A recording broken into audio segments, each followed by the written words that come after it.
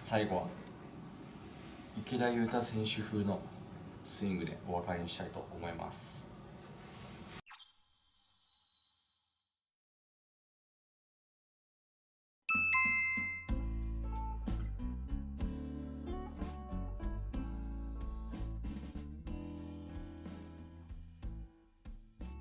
本日は9番アイアンを打ちながら説明していきたいと思います。ヒールアップはした方がいいのか？えっ、と私からのですね答えはヒールアップはできた方がいいっていうのが私からの答えですね。ヒールアップはできた方がいい。してもしなくてもどっちでもいいんですけどできた方がいい。要するにヒールアップができる。ヒールアップしてみてくださいって言った時にヒールアップしても打てるスイングが身についてるといいということですね。ヒールアップっていうのは役目としては体重を右にこうかけやすくしたり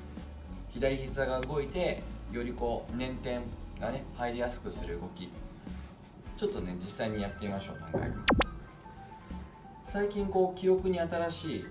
えーマスターズ2019タイガー・ウッズ選手が優勝しました。で最終日の時点始まった時に首位だったフランチェスコ・モリナリ選手がいます。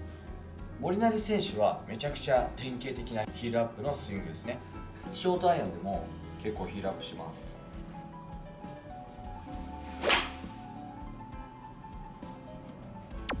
ヒールアップする選手ね多いと思います結構。でこれができた方がいいっていうその理由は正しい体重移動ができてるかどうかっていう一つの、まあ、チェックポイントになると思います。ヒールアップしなくてもいいと思うんですけどじゃあですね仮に上手な選手でヒールアップしない選手がいたとしますよね。バックスイングでヒールアップしない。今ヒールアップしてないです。ただこの時必ず体重ってやっぱり右内側とか重心が下に。体重はやっぱ右内側にかかってくると思うんですよ。なんかこう体重移動しないみたいな方もねいると思います。左足1本左軸でみたいな。って言ったって左足の中では体重移動してますからね。仮に左足1本で左軸でっていうスイングがねあのやってる方がいたとしても左足の中では体重移動してますから。左足の内側に来てます。だから必ずしも体重移動は右足から左足っていうそれだけではなくて右から左っていうのはこう片足だけでも左足の内側から左足の外側にみたいなまあこともありますのでヒールアップができるっていうのはかかとが浮くっていうのはこれ大体外側からめくれてきます。外側から、ね、その場でパンって上がる、えー選手ももちろんいるんですがこれはねアマチュアゴルファーの方はあまり真似しない方がいいっていう。左足がこうやって上に上がってくる選手はバックスイングで同時に右足にものすごく力をかけてジャンプするような選手が多いですね。バーバートソン選手とかそういう感じかな。一般的に多いヒールアップの仕方は左膝が右内側の方に下がっていくようなこう見た目になります。アマチュアゴルファーの方がこう膝が上に上がっちゃうとやっぱ重心も上に上がってきちゃうんで力がうまくためづらい。でこういう風になるとインパクトがこう伸び上がったあのスイングになってしまう方が多いのでおすすめするこのヒールアップの形方法としてはクラブヘッドと左膝がこことここです。クラブヘッドと左膝。ここがねくっついてると思ってください。あの紐でくっついてると思ってください。紐でくっついてる。なのでクラブヘッドバックスイングの時にクラブヘッドを引くと同時に左膝もこうやってついていく。わかりますか？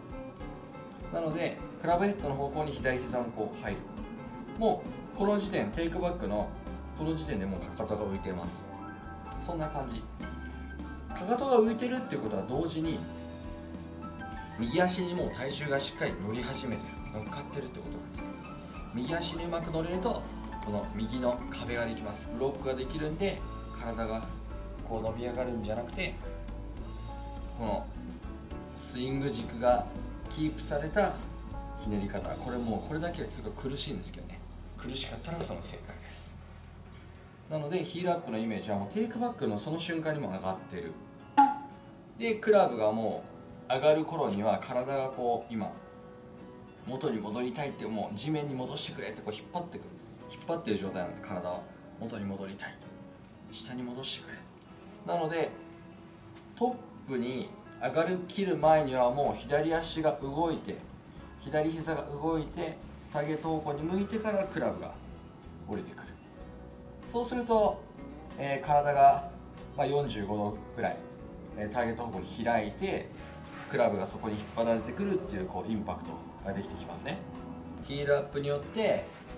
さまざまなこの体重移動だとか、まあ、ダウンスイングでの、えー、この下半身リードだとかそういうことがね可能になってきます。ヒールアップじゃできない方できないっていうのはできないわけではなくてヒールアップして打てないっていう方ですね。ヒールアップして打てないっていう方はバックスイングで右に乗るんですけど右乗ったまんまクラブはもう折り始めちゃう。右足に体重が残ってこうダフったり煽ったりするっていう。なので普段からこう左にこうグッて乗っていく癖が、えー、ない方はヒールアップできないんですよね。左足に体重をこう踏み込むっていう癖がない方はなかなかヒールアップができない。正しいタイミングとしてはバックスイングと同時にかかとが上がる。右足に体重が乗る。そしてトップに行く直前くらいで左膝が動いてまあ極端に言うと着地してからクラブが降りる。そんなイメージです。左足かかとが着地して着地してっていう同時にクラブ降りてくる。ヒールアップのポイントはまずこのテイクバックでも左膝をちょっと内側に右内側に右膝に向かってちょっとこう揺らしていく感じ。いろんな動画でも言ってますけど足が動くと頭は動かないですからね。足が動くっていうのは正確には膝のことです。膝。そうするとこう頭が動いてこないはずなんで。す頭動いちゃう方は大体足動いてないですからね。バックスイングでバックスイングでこう足があんまり動いてなくて足を動かさずして頭を動かないっていうのはこのゴルフのスイングでは非常に難しいというか無理だと思います。足が動く。ここでかかとが浮く。浮いて着地して振る。浮く着地。パー。浮く。着地。この順番で振れてると、まあ、自然にこうフィニッシュまでスパーンと振り抜けるようなそういう体重移動になりますね。でこの体重移動を理解しているとこういうステップ打ちのドリルもできる。ステップ打ちっていうのはバックスイングしてる最中に、まあ、右に体重がもう移りかけてるんですが移ってるんですが、えー、この間に左足をちょっとスライドさせる。前に一歩こうね歩き出すようにスライドさせてそれをきっかけにダウンスイングがこう引っ張り戻すっていう動きがね始まっていく。そういう、え打ち方もできます。左足の前に今ボールを置いといてバックスイングした瞬間にもう左足をスライドさせます。2 3 0センチぐらい。それで踏み込んだのをきっかけにクラブが降りてくる。こういう感じです。クラブを戻そうって手で戻そうって思わなくてもクラブが上がってってそれを左足に着地する動きが体が引っ張られてるんで左足が動いて戻るっていう、え自然なダウンスイングのこうスイッチになってきますね。きっかけになってきます。こういう動きもちゃんとえー、体重移動を理解してるとできるこれもさっきのヒールアップと一緒で左足が着地したら触れるっていうこのタイミングなんですけどあのできない方はねこう左足が動くのとクラブが動くのがこう同時になっちゃうんで。そうするとこう結局クラブを戻してくるっていうきっかけが手で戻してるんで、まあ、リリースが速いとか飛ばないってなっちゃいます。手以外で、まあ、こうクラブをこう戻し始めるというきっかけ作りになるかなと思います。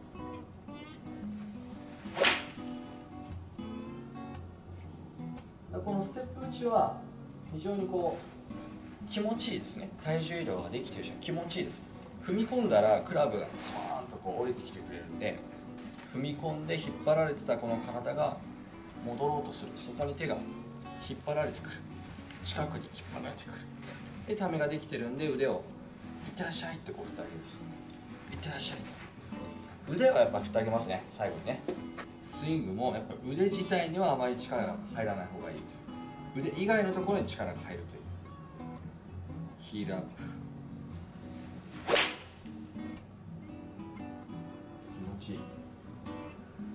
なのでラウンド中に後半になるとこうバテてきて疲れてくるとやはり下半身が止まって、えー左に引っ掛けてしまう手打ちになって左に引っ掛けてしまうようなミスも出てきたりしやすいんですけどそういう時にこのヒールアップあのちょっとこう覚えておくというかこ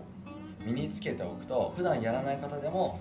ちょっとこれ体止まんないように少しこうね体重移動を大きくする意識でこう体を止めないようにしようとか、まあ、そういう時にも使えなくはないと、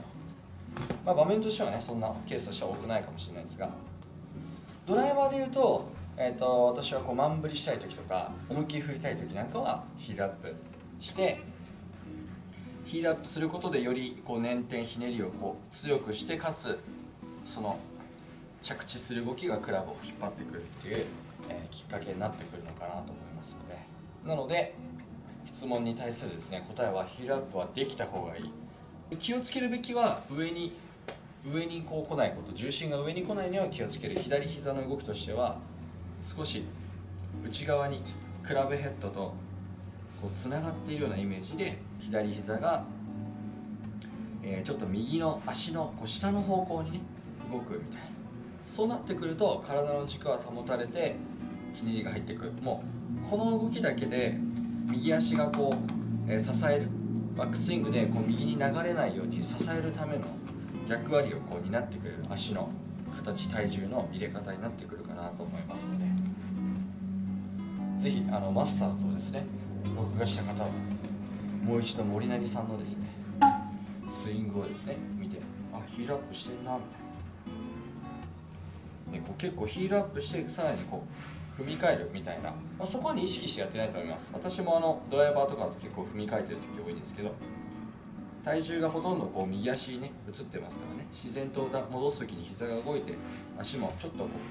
う踏み替えるじゃないですけどつま先がさらにターゲット方向に向くみたいな動きもダウンスイングのきっかけとしてありかなと思います。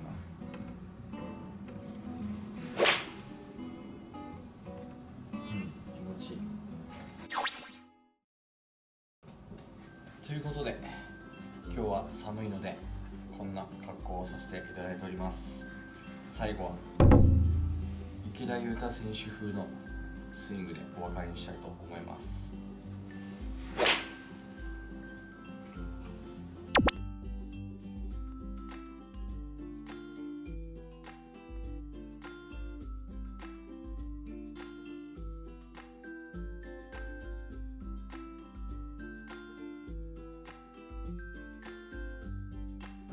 いい当たりでしたね。ありがとうございました。ご視聴ありがとうございます。今回の動画いかがでしたでしょうか？良かったと思った方はいいねとチャンネル登録をお願いいたします。それから Twitter、Instagram、Facebook もやっておりますので説明欄の方からフォローお待ちしております。ありがとうございました。